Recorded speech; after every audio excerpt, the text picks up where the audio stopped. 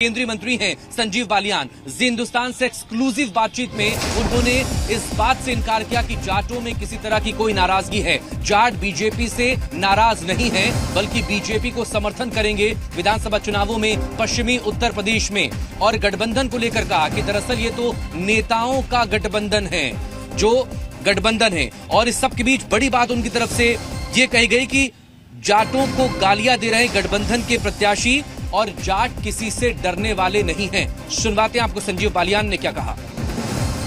संजीव जी अभी जाट नेताओं पश्चिमी यूपी के बड़े बड़े जाट जो लीडर हैं उनसे आप लोग की बैठक है।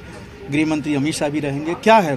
एजेंडा क्या है और क्यों इस तरह की बैठक बुलाई गई है चुनाव से पहले? देखिए हमेशा होता है तो जब चुनाव आते हैं तो प्रमुख लोगों की बैठक ली जाती है। कोविड का मामला है तो इस वजह से एक रैलियाँ तो हो नहीं पा रही।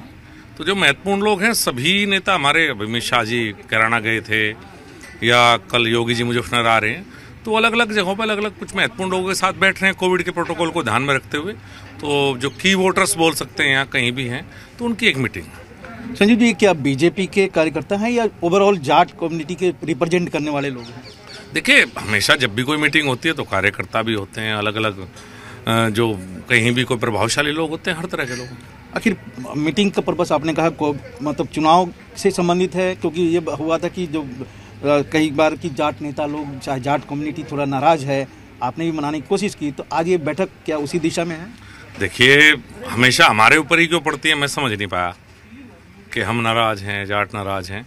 ऐसा कुछ नहीं है। जाटों ने पहले भारतीय जनता पार्टी को वोट दी अभी भी एक बहुत बड़ा तबका भारतीय जनता पार्टी को वोट दे रहा है। संजीव जी आपने कई वीडियो भी देखा जिसमें जाटों को धमकी दिया जा रहा है और अल्पसंख्यक खासकर मुस्लिम वर्ग द्वारा और खासकर समाजवादी पार्टी के लोगों द्वारा।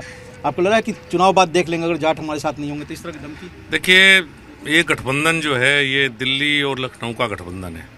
ज़मीन का गठबंधन नहीं है सबके अपने अपने वोटर हैं और वोटर कोई किसी के कहने से नहीं जाता।